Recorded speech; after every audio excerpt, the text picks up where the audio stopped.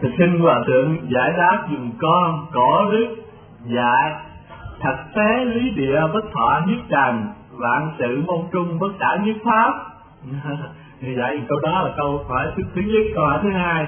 Đức phật và các thầy thường dạy thì chúng con phải tự đốt đuốc lên để tự tu tập trên con đường giải thoát. Tự lực là chính tha lực là phụ.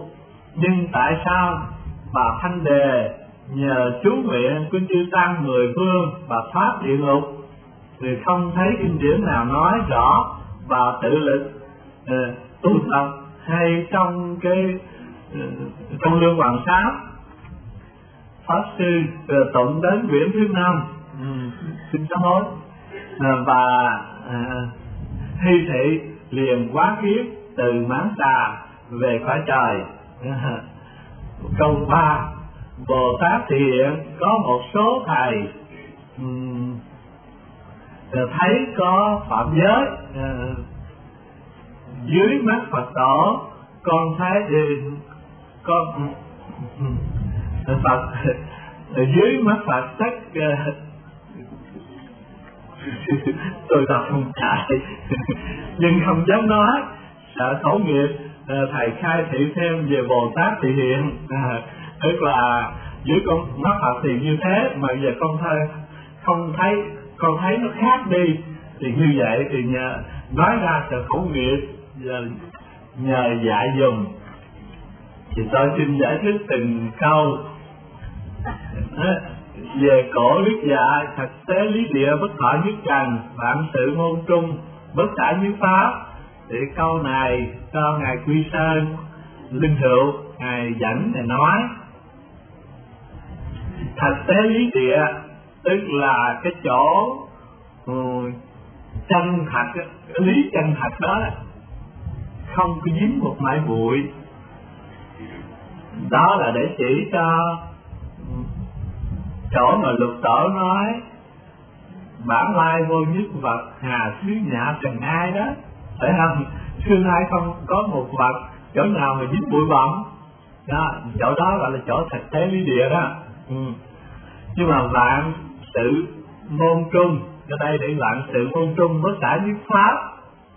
Tức là tâm muôn việc không buông bỏ một cái gì hết. Đó là để nói, trên cái chỗ cứu kính thì không có dính một mảnh bụi. Nhưng mà trên cái phương tiện thì tùy duyên, ứng dụng, giáo hóa chúng sinh cũng không bỏ một cái gì hết.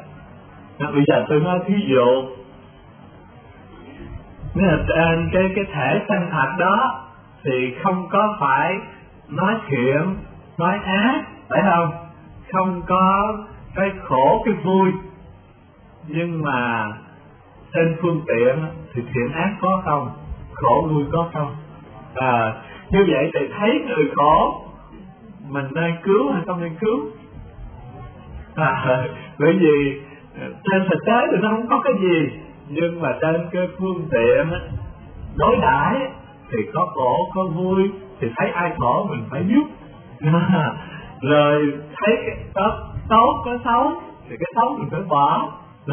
Thì như vậy cho nên đừng có chấp lý. À, chữ thật tế lý địa đó là lý còn vạn sự đó là sự. Đừng chấp lý mà bỏ sự bởi vì có nhiều người tu nghe cái lý cao siêu cái gì thiện ác thì không có hết, không thiệt hết. Cho là tôi không làm gì hết. Kệ khổ vui không thiệt, mà kệ khổ khổ có thiệt đâu rồi biết là mình chứng nhưng mình không làm gì. Cho nên phải rõ ràng trên cái lý nó như vậy, mà trên cái sự thì cái lòng từ bi mình thấy một chúng sinh khổ, mình cũng phải phải cứu. Mình nói ví dụ, khi mình ngủ ở bên cạnh giường mình có một người bạn ngủ. Rồi người đó nằm mộng thấy cảnh dữ họ la. Họ khóc. Lúc đó mình cứ nằm để mình cười kể nó nằm mộng mình khóc la mặt nó hay là mình nên kêu nó thức cho nó khó khổ à, nếu mình có lòng thương thì người ta thương thấy cái mộng dữ thì mình phải kêu cho người ta qua cái mộng. Thấy không? Biết nó là mộng nhưng mà cũng phải kêu họ Ờ, thì biết của ta là giả, nhưng mà khổ mình phải giúp họ. Thì bất thực là lòng từ bi. Chứ còn cứ ôi ngọn mà kể nó làm gì nó làm. Thì cái đó là thiếu lòng thương, phải không? Thiếu cái tình từ bi.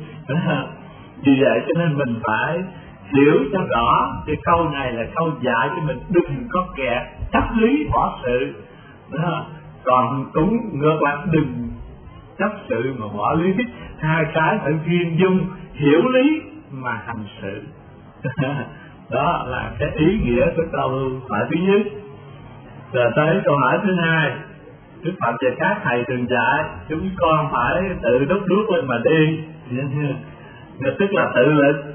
Nhưng mà sao mà bà thanh đề giờ chúng tăng cầu nguyện mới được siêu sanh về cõi ờ, trời, chân dân thì như vậy, tự lực hay là tha lực? Thì câu hỏi này đa số bị thắc mắc à, tôi xin giải thích cho quý vị hiểu. Luôn luôn tha lực nó tùy thuộc vào tự lực chứ không có cái tha lực trọn vẹn. Bây giờ ví dụ như quý phật tử tới nghe tôi giảng rồi hiểu đạo thì như vậy là tôi cho quý đạo hữu hiểu hay là quý đạo hữu tự hiểu? Cho không được tôi cho mà coi ví dụ đây hai trăm người mà có người hiểu vậy người hiểu khác. Nếu tôi cho thì bằng nhau. Như vậy thì sao? Nghĩa là tôi giảng, nhưng cái hiểu là của quý đạo hữu hiểu. Phải không? Quý đạo hữu chú ý nghe, rồi nhận ra. Để nhận ra là mình, thì giảng là ông thầy nhưng mà nhận ra là mình, chứ ông thầy không cho mình được. Phải không? À mà nhận ra là mình thì tự lực hay tha lực. Nhưng mà tự lực, nó cũng nhờ tha lực. Cho nên Phật nói, các ngươi phải thắp đuốc lên mà đi. Nhưng mà thắp bằng cách nào? Thắp lên với chánh pháp. Chánh pháp là ngọn đuốc của Phật còn truyền lại. Bây giờ đem cái đuốc trí tuệ mình ngồi thì mình ngồi là đuốc mình cháy, chứ không phải đuốc của Phật nhưng mà phải ngồi đuốc của Phật.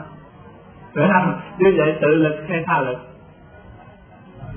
Tự mà không rời tha. Phải không à, thì hiểu cái đó rồi hỏi tại sao mà bà thanh đề mà đương ở cái nghiệp ngạ quỷ? Quỷ đói. Mà nhờ chư tăng tụng kinh cầu nguyện rồi bà liền sanh lên cõi trời. Là tự lực hay tha lực? Nên là như tôi giảng bây giờ bởi vì cái niệm ác thì hiện cái cảnh khổ cái niệm thiện giấy lên thì sanh cõi lành. Thì bà ở trong cảnh hạ quỷ vì cái niệm ác cho nên khi được bắt con là còn che giấu không cho người ta ăn không cho người ta thấy. Thì đó là cái niệm tham. Tham lam bỏ sẽ là quá nặng và chư tăng tụng kinh cầu nguyện thì các cái gì đó đều chứng a la hán này kia rồi. Cho nên cái đức hạnh cái đạo lực cao khi tụng rồi bà nghe và cảm được. Cảm được là phải nhận ra à, cái xấu của mình cái đó là cái tội lỗi. Bây giờ bà phát cái tâm lành thì được sanh phải lành liền. Thì sanh phải lành là tự lực hay tha lực?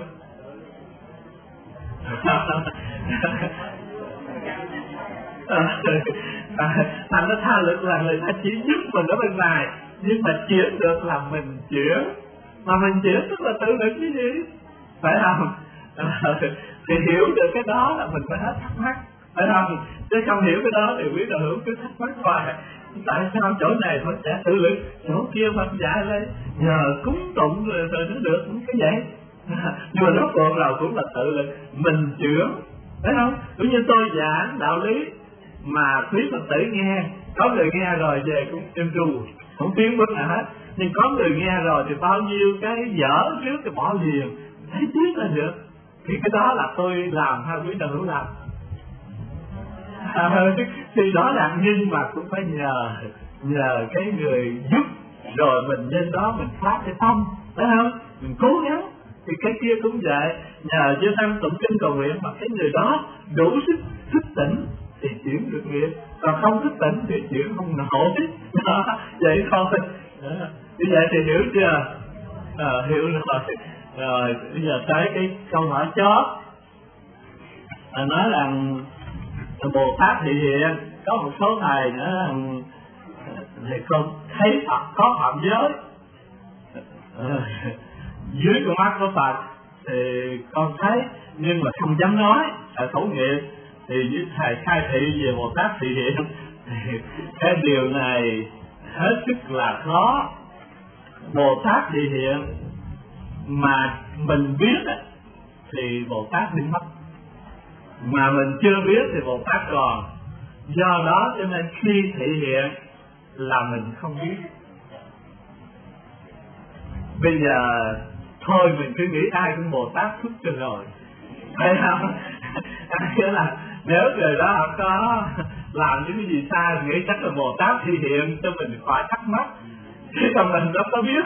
Mình chưa có cái tha âm thông chưa có thiên nhãn thông mình không biết được người đó là phàm hay là thánh. Thì nếu người đó họ nói à, họ làm vậy họ có phá trai phạm giới nói tôi là tu hạnh bồ tát thôi kệ các ngài bồ tát mình kính cái ngài cho mình khỏi tội. Chứ nhiều khi mình nói mà mình chưa biết thì e là có khi phạm tội. Cũng như tôi thường kể ngài hàng sinh thập pháp đấy nghĩa là khi mà phát giác ngài là bồ tát rồi cái thì ngài liền chạy mất. Bồ tát mà nếu mà cho người ta biết mình bồ tát là không phải bồ tát. Bởi vì các ngài muốn đi ở trong cái cõi trần tục để thử tâm niệm của chúng sinh họ đối xử thế nào, lòng thiện lòng ác họ thế nào, tùy cách mà các ngài cứu độ. Mà nếu biết rồi thì nói người đó là bồ tát thì gặp trước bái không, còn gì nữa. Mà thử, còn gì nữa mà biết cứu độ. Đi trong đó mà biết bệnh biết bệnh rồi mới giải bệnh cho được. Chứ bây giờ thấy là ai cũng kính hết rồi còn gì nữa? Giải làm sao thấy bệnh cho được? Cho nên bồ tát mà nói mình là bồ tát là chưa phải bồ tát. Chính cái chỗ đó là cái quý tử phải kinh nghiệm kỹ. Một vị tăng, một người cư sĩ nào mà nói tôi là bồ tát thì thôi xá tránh xa. Đó là giả hiệu. Còn ai mà có phá trai phạm giới tu hành mà phá trai phạm giới. Thì mình cũng nên biết đâu hạnh bồ tát mà thôi mình cũng ờ, đừng có thêm bàn chi lo phần mình đã. Chứ còn nhiều khi mình cứ lo bàn thiên hạ hoài còn phần mình phật y quyền thì không tiến chút nào mà lại thêm tội lỗi. À, tôi ờ, thường hay nói chúng ta có cái bệnh cái bệnh hay thích làm cảnh sát quốc tế. Chuyện của thiên hạ đâu đâu cũng muốn xử có phần xử phán phê phán được cái đó còn chuyện mình mình bỏ ngoài cứ vô lý mình sao? Thấy không? Cho nên cả nhà cứ nghe chuyện này, chuyện kia là phê bình đủ thứ. Mà khi đó chuyện mình thì mình không có nói gì hết. Không bàn gì đó. Tại sao chúng ta không phê pháp mình trước? Ngày nay mình đã làm được cái gì hay? Đã làm cái gì dở? Để mà biết hàng ngày mà sửa mà sắm, nếu ai cũng phê bình mình hết thì thế gian mình tiến bộ biết mấy.